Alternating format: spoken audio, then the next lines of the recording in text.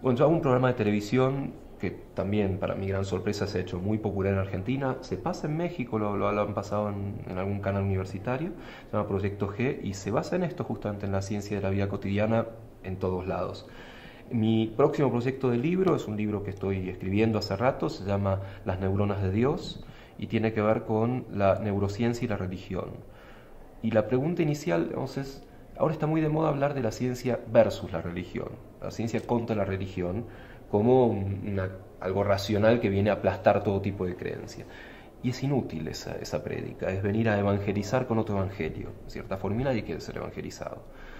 Por lo tanto, yo me pregunto, ¿por qué la religión en el siglo XXI está tan distribuida? Países como México es un país profundamente religioso.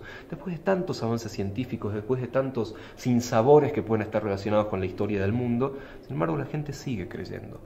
Y entonces eso es lo que exploro un poco en el libro, si nuestro cerebro viene preparado para creer, viene cableado como para creer en lo sobrenatural. Y si eso no tiene alguna eh, importancia evolutiva, algún factor de selección natural que le ha permitido a ese cerebro evolucionar de cierta manera, le ha permitido a ese cerebro eh, adaptarse a un ambiente que tal vez, si no creía en lo sobrenatural, tenía consecuencias catastróficas. Es un tema que me interesa particularmente, yo no soy religioso, pero en lugar de hablar de una ciencia contra la religión, me interesa hablar de una ciencia de la religión.